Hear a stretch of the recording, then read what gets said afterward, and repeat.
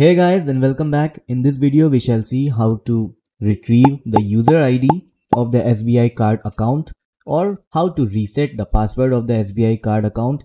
So basically there are two ways to do that. The first way is by using SBI card app which is available on the Play Store as well as the Apple App Store. So you can download the app and you can use the app to retrieve the user ID or change the password. I have one video the link to that video is in the description. You can go through that video if you want to change the password or retrieve the user ID using the SBI card app.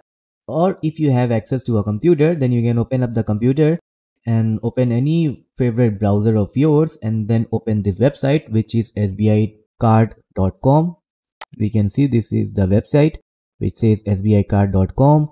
Now on this home page you just have to scroll here where it says forgot your user id or password. So just click on that. A new page is going to pop out.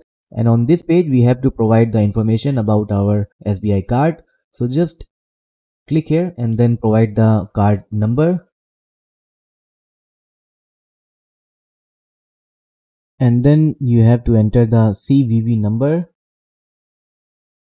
all right then after that you have to select your date of birth which you have provided to the SBI account. You have to make sure that the date of birth that you have provided to the SBI card account matches with the date of birth that you are going to select now.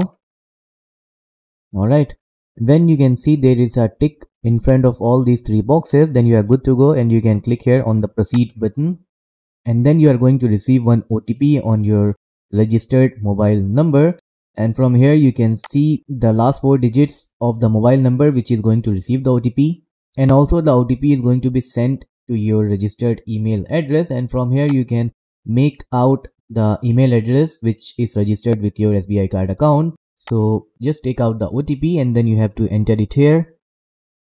Right then click here on proceed. If you have entered the details as well as the OTP correctly then on this page you are going to get your username. So this is my username. If you remember your password then you can directly click here on login and then use your user id and password to log in into your sbi card account.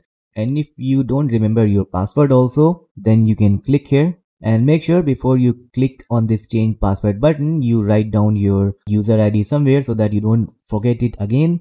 So after you have saved or wrote down your user ID, then you are good to go and you can click here on change password button. Now here you can type a password and also you have to make sure that the new password should not be the same as any of your previous five passwords. So I'll just enter a password here. Now while entering the password you have to make sure that the password is at least 12 characters long and it should have at least 3 alphabets and then it should have at least one uppercase as well as one lowercase character and it should have at least one number. Then there should be at least one special characters. If you have met all of these criteria then you will be able to see a tick mark like this in front of both the boxes. And once it is there then you are good to go and you can just click here on confirm. And then you will get a message like this congratulations you have updated your password for your SBI card online account. So now you can use your password and the user ID to log in into your SBI card account. So that's all for this video. I hope you were able to retrieve your username as well as update the password. So that's all for this video. Don't forget to give a thumbs up and subscribe to the channel. Thanks for watching.